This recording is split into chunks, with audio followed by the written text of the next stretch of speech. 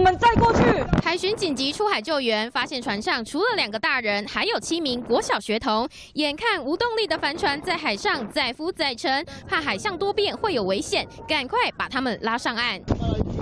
在海上的帆船因为钢索断裂，导致桅杆倾斜，完全无法操控。教练与家长带着七名学童，只能漂浮在海上等待救援。幸好岸边守望人员有发现异常，赶紧通报协助。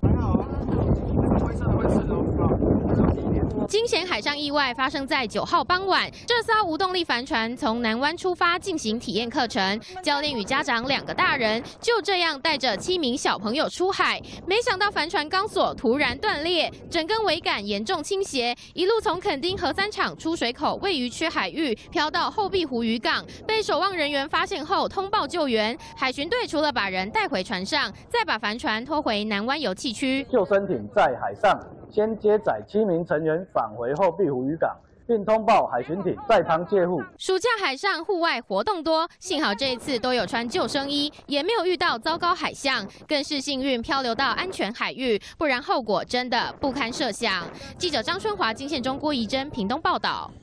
我是徐国豪，在中视新闻首次坐上主播台，体会到播报新闻所需要的稳健台风，以及掌握突发即时新闻的随机应变。为观众播报最及时的新闻，就是展现专业的时刻。更多新闻，请锁定中视新闻 YouTube 频道，记得按赞、订阅、分享，并开启小铃铛哦。